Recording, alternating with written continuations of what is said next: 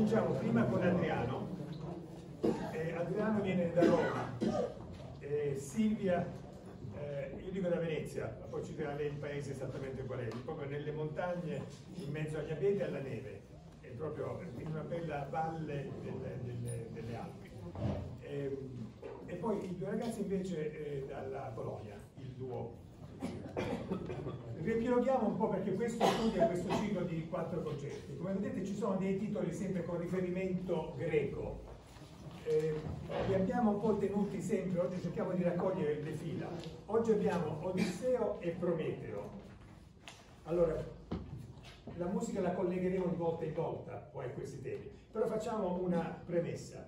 Perché Odisseo? Il, una delle cose che io ho notato eh, un problema importante della comunicazione all'estero. Quando si parla dei greci e della cultura gre greca, la Sicilia viene esclusa completamente, non la pensa nessuno, perché oggi la Grecia ha una collocazione precisa. E allora anche nella nostra conversazione, vi sentite? Sì. Anche nella nostra conversazione di oggi, io cerco di usare la parola greci, ma ho accompagnato da una specifica. Intanto il, la parola greco, i greci vengono chiamati greci da una città, Graikos, usata dai latini, per cui i greci stessi non si chiamavano loro greci. I persiani, che scrivono molto dei greci, li chiamano i, i popoli del mare Ionio. Prego.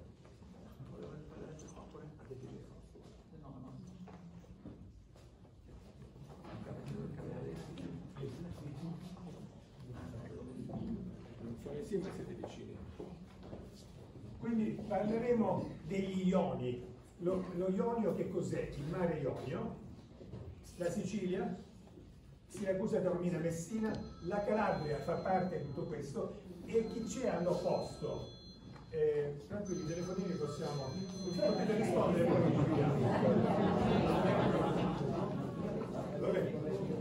No, no, dico, allora, eh, dall'altra parte abbiamo Itaca. Se uno da Taormina va dritto si trova Itaca dall'altra parte mentre normalmente la gente pensa che Itaca sia messa vicino alla Turchia o in qualche posto remoto. Itaca è di fronte qui noi. Per cui quando si parla di Odisseo, si parla di questa cultura greco-ellenica, ionica, che è due volte precedente con Omero, siamo a un, un greco due volte antico, non è un greco antico, ma è quello oltremodo antico. È importante che quando affronteremo concetti tipo la psiche, il corpo, per loro non era quello che pensiamo noi oggi, era totalmente diverso. Siccome faremo adesso una distinzione oggi molto più chiara tra la musica ispirata alla modernità, la modernità noi la considereremo dal 33 quando muore il dio Pan ed è quando c'è la risurrezione di Cristo. In quel momento c'è un mondo moderno e i greci vengono, la cultura greco-sicani antico, troviamo un, un, un, modo, ecco, siculo calabrese eh, greco che tramonta perché arriva a San Paolo, arriva qua a, a Malta e dice eh, c'è, un nuovo concetto, c'è Cristo, c'è la risurrezione. I, i siculi sicani, greci, ioni, eh, ellenici, per poi dopo arriva quest'altro, eh, si chiedono ma eh, ci racconti fesserie, no, non esiste la risurrezione, lui non gli ridevano in faccia. Abbiamo, quando lui è andato ad Atene abbiamo degli scritti dove dicono questo, questo Paolo racconta questa storia ma è fuori di testa, è chiaramente una cosa che non tiene. Per cui noi faremo una distinzione tra la musica precedente al concetto del Cristo e, e la musica dopo, che è tutto il resto del nostro mondo occidentale, dal 33 e poi non sappiamo la data, usiamo il 33 come data, potrebbe essere anche il 35, il 36, da quella data fino ai giorni di oggi. Quindi questa è la grande linea. Ora con... Prego. Ah, prego.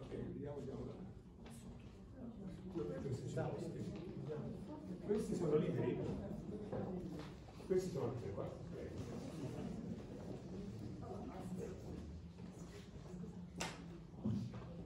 Allora, parlando, ehm, torniamo a Odissea.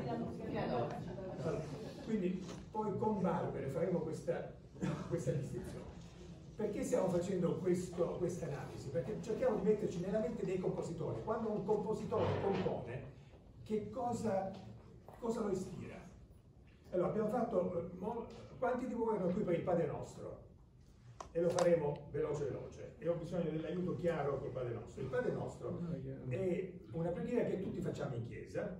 E io quando la facciamo in America, la fanno in inglese, devo dire mi confondo, perché io generalmente la dico in italiano, loro la dicono in inglese e già mi, mi confondo a volte lo stesso me lo dimentico. E, ehm, ho preferito seguire le messe in latino perché mi era più facile seguire la messa in latino che quella in inglese. E eh, adesso il Papa ha vietato la messa in latino, per da un mese, da un mese siamo si fanno ma in assoluto segreto, dobbiamo stare attenti che nessuno entri, siamo attenti che non entri l'FBI, perché se il prete viene denunciato al Vaticano con la messa in latino, il cardinale Roche ha scritto regole dure, precise, messe in latino, no. Ora, siccome è una vita che lotto per il latino e per il greco, sono un po' traumatizzato da questa cosa. Ma diciamo, andiamo indietro, due mesi fa ero traumatizzato da un'altra cosa. Ho scoperto che il Padre Nostro avevano cambiato un non ci due in tentazione, avevano cambiato come non ci abbandonare la tentazione. Ero furibondo, ho chiamato mia madre quella notte, tre giorni prima, con di ma è vera questa cosa? Sì, sì, ma come possibile? Ora, un musicista che, si, che, compone sul Padre Nostro, davanti a non ci indurre in tentazione, fa armonie, dissonanze, è il Dio ebreo, è il Dio che ti mette alla prova, è un, un concetto estremamente importante. E poi dopo dona a noi la pace, per cui risolve un grande, una grande tensione con delle armonie successive. Quando tu mi metti un abbraccio e poi dopo mi metti il dacci la pace, non c'è base per la musica. Per cui di vista musicale è un problema enorme, senza considerare che San Luca e San Matteo entrambi ritengono il Padre Nostro. Allora, faccio il Padre Nostro velocemente e poi dovremo fare delle cose simili col Prometeo. Allora, se io dico Padre Nostro che sei nei cieli, introduzione, quindi come musica metto una introduzione. E poi, sia, allora, Padre Nostro che dice, sia santificato il tuo nome, santificato, venga il tuo regno, sia fatta la tua volontà. Abbiamo tre invocazioni celesti. E allora il compositore in questa struttura ci darà tre importanti frasi musicali o ripetizioni di frasi musicali, ha un'ispirazione specifica. Poi, dacci oggi il nostro pane quotidiano, rimetti a noi i nostri debiti come noi mettiamo i nostri debitori, non ci indurre in tentazione, libera il nostro, liberaci dal male. Per cui abbiamo quattro invocazioni terrestri. Allora, se io faccio quel Padre Nostro, ne ho tre e quattro. Sette accenti sono il numero della creazione, il numero del Dio ebreo, cioè uno si mette lì e compone. Allora, quando pensate a un compositore, non pensate a dei suoni che vengono così, ci sono dei concetti dietro che già i testi ce li offrono. Con quel concetto noi componiamo. Su questo è chiaro, non, nessuno ha dubbi su questo. Un altro esempio, San Luca. San Luca invece dirà, Padre nostro, che sei nei cieli non lo dice. Perché San Luca ha un Padre nostro che è fatto per, i, eh, per eh, gli, apostoli, intimo, mentre l'altro Padre nostro è fatto per, la, eh, per i cristiani, per la comunità larga. E allora San Luca dice, Padre nostro, la collocazione non serve. Sia fatta la tua volontà, venga il tuo regno. Allora, l'ho detto giusto? Allora, Padre nostro, sia santificato il tuo nome, venga il tuo regno, sia fatta la tua volontà. No, no, no, no, perdono. Ok, ok, ok. Eh, allora, Padre nostro, sia fatta la tua volontà, venga il tuo regno. Si ferma lì. Poi, dacci oggi il nostro pane quotidiano. Rimetti a noi i nostri debiti non ci indurre in tentazione. Quindi ha solo 5 accetti, 1, 2, 1, 2 3, ma non ci indurre in tentazione è lì con San Luca. Quello di San Luca è ancora più vecchio di quello di San Matteo. Per cui abbiamo, è tutto, lo abbiamo in latino, greco-latino, non abbiamo l'aramaico, però questi due testi ci dicono che questa frase del Dio ebreo che ci induce in tentazione esiste in tutti e due i Vangeli. Io, il Papa non l'ha cambiato dal testo latino, ha, ha tolto la messa in latino, ma il testo non lo può cambiare perché è quello che è, ha cambiato la traduzione. E allora lì il compositore moderno che non conosce il, testo originale, se il Papa lo cancella, e allora farà un, musica diversa rispetto a chi conosceva il testo originale e farà una musica più di ebreo che è totalmente diversa. Ci siamo come, come, concetto. Il Papa fa quello che vuole perché il Papa, però noi musicisti avremo delle conseguenze di ispirazione musicale in base a questa struttura. Okay. Ora andiamo a linee generali invece con il Prometeo. Prometeo perché io tendo a vedere le cose dal punto di vista siciliano, per cui mi guardo, mi leggo per esempio Diodoro Siculo e vedo quello che Diodoro Siculo perché troviamo tanti Prometei e nel corso della storia il Prometeo ha creato è cambiato, è stato incatenato, poi c'è il Prometeo liberato nell'illuminismo, il Prometeo diventa un simbolo fino a Beethoven fa la sinfonia, la terza, l'eroica, Prometeo, Napoleone, cioè il Prometeo cambia nei secoli. Ora, il Prometeo da cui partiamo noi, ci siamo?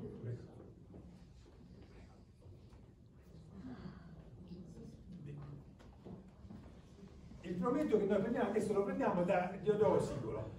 Il, eh, prima di Prometeo ci sono, abbiamo Uranus, Uranus e Uranus è il cielo stellato ed è come la, la Cappella Sistina prima di Michelangelo. Tutto blu e le stelle. Uranus e Gea. Loro, dal loro amplesso nascono i, i, i titani, la titanomatia. Questi titani, Uranus, allora Uranus ricordiamoci Ur, Ur è la radice della prima città eh, mitica della Mesopotamia, Ur significa splendente, pietra splendente, quell'Ur è la stessa pietra splendente delle piramidi, le piramidi erano importantissime perché splendevano, adesso non c'è più la copertura di, di, di pietra marmo che rifletteva la luce del sole, per cui tenete questo Ur in mente e poi tutto quello che adesso troviamo come Ur. Per cui Uranus Gea. Uranus non, a un certo punto si preoccupa che i titani possano togliere il potere a lui, per cui li spinge nelle viscere della terra, nelle viscere di Gea. Gea dice, ma i miei figli qua non possono, sono in, in, sempre in uno stato di embrione, non possono nascere, per cui parla con gli altri figli nati prima e i titani dice, dobbiamo eh, liberare questa situazione da. E a cosa arriva? Arriva lei con la faccia, la faccia è una cosa importante che viene da, dall'India, Megara, la, la, la, storia della Sicilia è legata alla faccia. Con la falce tagliamo i genitali di Urano. Di Urano. Se allora questi genitali tagliati con la falce eh, dai titani vanno a cadere eh, nel mare di Cipro, lì nasce Afrodite da, da, dalla schiuma del mare e la baia si chiama tuttora la baia di Afrodite. Invece il sangue con la falce cadono a Messina, tagliano, creano la terra più fertile del Mediterraneo e qui nasce la Sicilia. Poi eh, Prometeo viene condannato e va a finire nel Donbass, tra il Donbass e la Georgia, e lì è incatenato. Quindi abbiamo il Prometeo incatenato, ma voi troverete stasera il concetto anche musica riferimento al Prometeo liberato, vedremo poi dopo. Quindi Prometeo è incatenato nel Donbass e il, um, la ragione è, allora, viene incatenato, Zeus gli dice ti mando una, un'aquila, non mi ricordo se l'aquila si mangiava il fegato di notte o di giorno, se la mangiava di notte o di giorno? Di giorno, una notte cresce. No. Allora, questa è una cosa importante che gli antichi siciliani sapevano bene. Il fegato è un organo che in meno di quattro settimane, dicono tra tre e tre settimane e mezzo, si rinnova tutto per cui questo fegato che rinasce non è una coincidenza come forse sapevano. La fegato... è continua. Eh? La pena è continua perché il fegato si... Sì, esatto. Allora, quindi questo è interessante questo piccolo dettaglio. Comunque il nostro Proteus è bloccato lì perché si dice perché ha dato il fuoco agli uomini. Ecco. E il, il Prometheus ha dato la conoscenza tecnica all'uomo. E, e quindi i due fratelli, Prometheus e Epimeteo, Prometeo è quello che pensa prima, che prevede. Epimeteo quello stupido che ci pensa dopo, un po' troppo tardi. E, e vengono tanti problemi da Epimeteo, il fratello. E Giove giocava sui due fratelli, e a farli litigare, creare dei problemi con Pandora. Ora, Prometeo che è quello che prevede, prevede il diluvio, dice Zeus farà questo per danneggiare l'umanità e dice al figlio eh, del camelione, che si chiamasse, e Pirra, gli dice ci sarà, preparatevi al diluvio, Decameron e Pirra vanno a salvarsi dal diluvio sull'Etna. Io parlo sempre del, di, di, parliamo di un mondo pre-giudaico-cristiano, che è il mondo siciliano, o siculo, o sicano. Quindi dal punto di vista dei siciliani, questa storia. Questi stanno sull'Etna nove giorni, nove notti, e poi scendono e non c'è nessuno. E allora Giove gli chiede, siete sopravvissuti, come regalo esprimete un desiderio, cioè noi vorremmo avere una progenie, ed erano anziani. Vabbè, allora, eh, troverete queste immagini in tante immagini rinascimentali. Lui tira una pietra sulla schiena e diventano uomini, lei pure sulla schiena e diventano donne. Così rinasce l'umanità dal punto di vista dei siciliani, non quello di Noah Noè e così via. Ci, ci siamo qua perché tutto questo ci riporta al punto di vista della Sicilia e musicalmente ci porterà poi di nuovo in Sicilia, proprio qua da noi, nel nostro, nel nostro territorio. Ehm, yeah, penso questo basta adesso, cominciamo.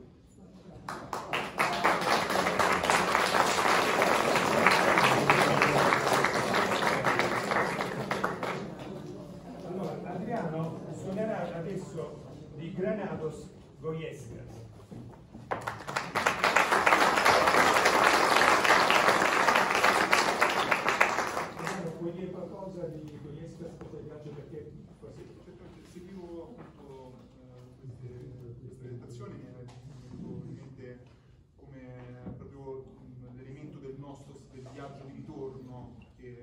Caratterizza eh, la vicenda appunto del, di Ulisse, in qualche modo eh, sigilli anche eh, poi di fatto la vita del compositore stesso se vuole poi. E, una brevissima presentazione ecco, magari sui pezzi. Eh, il primo, eh, ragazza e è dedicato alla moglie di Granados, Amparo, e, ed è una scena notturna che si svolge in un giardino. Eh, cui c'è appunto una donna che sta ehm, cantando eh, tutto il suo amore per il suo amato che eh, è distante e seguendo il canto dell'usignolo eh, si, si, chiede a sua volta se eh, non sia appunto anche eh, il canto di questo uccello un canto d'amore per un'amata lontana. E, per quanto riguarda invece il secondo pezzo, eh, andrò a suonare il, lo Pietros, i corteggiamenti, eh, i complimenti interessati dei Macos alle Macas, eh, ovvero dei ragazzi alle ragazze, eh, che apre appunto questa suite pianistica.